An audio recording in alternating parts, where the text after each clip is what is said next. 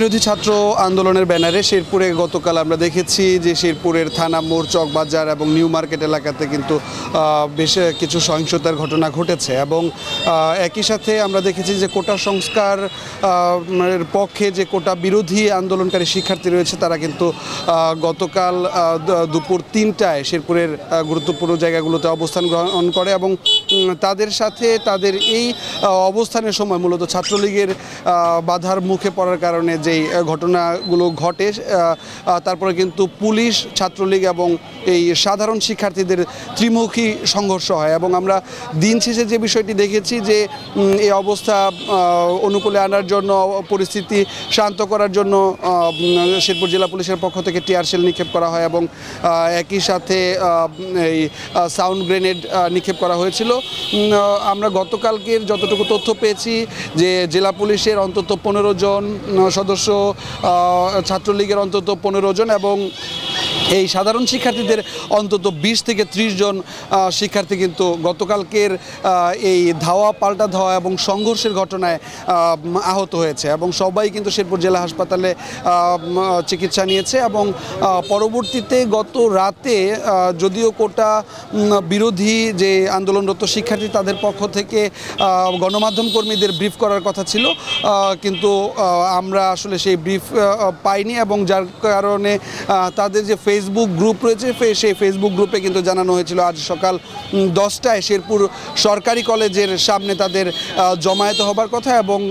আজকে যে সারা দেশব্যাপী তাদের কেন্দ্রীয় কর্মসূচি যে শাটডাউনের কথা বলা হয়েছে, সেই শাটডাউন বাস্তবায়নে তাদের কার্যক্রম শুরু করার কথা ছিল। কিন্তু আমরা সকাল দশটা থেকে খুব বেশি সেই ধরনের ঘটনা আসলে দেখতে পাইনি। আমরা দেখেছি যে সকাল থেকেই শেরপুর জেলার শহরের যে গুরুত্বপূর্ণ মোড়গুলো রয়েছে। সেই গুরুত্বপূর্ণ মোড়ে বাড়তি পুলিশ মোতায়েন করা হয়েছে এবং একই সাথে যদি আমি একটু দেখানোর চেষ্টা করি যে এখন এই মুহূর্তে আমি রয়েছি শেরপুর উম, আহ, ব- নি- আহ, থানা মোড় বঙ্গবন্ধু স্কোয়ারে। এই বঙ্গবন্ধু স্কোয়ারে কিন্তু যান চলাচল স্বাভাবিক রয়েছে এবং প্রত্যেকটি গুরুত্বপূর্ণ মোড়ে বাড়তি পুলিশ মোতায়েন করা হয়েছে। একই সাথে জেলা পুলিশ এবং র্যাব চোদ্দ তাদের পক্ষ থেকে কিন্তু প্রত্যেকটি গুরুত্বপূর্ণ মোড়ে তাদের যেই টহল, সেই টহল কিন্তু ইতোমধ্যে তারা সম্পন্ন করেছেন এবং জেলা পুলিশের পুলিশ সুপার আমাদেরকে জানিয়েছেন যে গতকালকের ঘটনায় একটি মামলা হয়েছে ইতোমধ্যে এবং সেই মামলার প্রেক্ষিতে কয়েকজনকে আটক করার ঘটনাও রয়েছে তিনি আমাদেরকে নিশ্চিত করেছেন এবং তিনি কিন্তু একটি বিষয়ে হুঁশিয়ারি দিয়েছেন যে শিক্ষার্থীদের এই দাবির বিষয়ে এবং আন্দোলনের বিষয়ে কোনো ধরনের কোনো আপত্তি আসলে আইন শৃঙ্খলা বাহিনীর নেই এবং শান্তিপূর্ণ এই আন্দোলনে আইন শৃঙ্খলা বাহিনী তাদের জায়গা থেকে যতটুকু সম্ভব ততটুকু সমন্বয় করার চেষ্টা করবে। জেলা পুলিশের পুলিশ সুপার তিনি জানিয়েছেন যে এই ছাত্রদের সাথে, সাধারণ শিক্ষার্থীদের সাথে যে কোটা বিরোধী আন্দোলন চলছে, সেই আন্দোলনে যদি তৃতীয় কোনো পক্ষ বা কোনো রাজনৈতিক দল যদি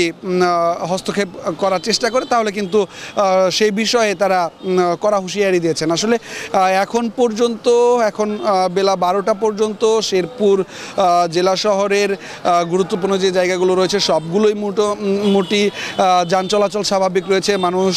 স্বাভাবিকভাবে কাজ করছেন এবং দোকানপাট মোটামুটি সবই খোলা, যেটা গতকালকে বিকেলে আমরা দেখেছি মূলত শেরপুর শহর কার্যত একেবারে অচল হয়ে গিয়েছিল। আমরা দেখতে পাচ্ছি আসলে জেলা পুলিশের যে টহল টিম, সেই টহল টিম কিন্তু এখনও চলছে এবং আমরা দেখেছি যে সকাল থেকেই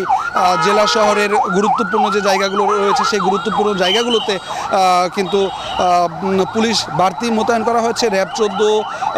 এবং জেলা পুলিশের ঊর্ধ্বতন কর্মকর্তা সহ সাদা পোলাশ পোশাকের পুলিশ এবং যে গোয়েন্দা পুলিশ যারা রয়েছে তারা কিন্তু এখন এই মুহূর্তে শেরপুর জেলা শহরের যে গুরুত্বপূর্ণ মোড়গুলো রয়েছে, সেই মোড়গুলো কিন্তু প্রদক্ষিণ করছেন। আসলে এখন পর্যন্ত পরিস্থিতি একেবারেই স্বাভাবিক। আমরা দেখেছি সাধারণ জনগণ যারা তাদের কাজের জন্য বের হয়েছেন, তারা কিন্তু তাদের কাজ করছেন। একেবারে দোকানপাট সবই কিন্তু খোলা হয়েছে। বেলা বারোটা পর্যন্ত সব কিছুই স্বাভাবিক। আসলে এই ছিল আমার কাছে শেরপুর থেকে এই কোটা বিরোধী আন্দোলনের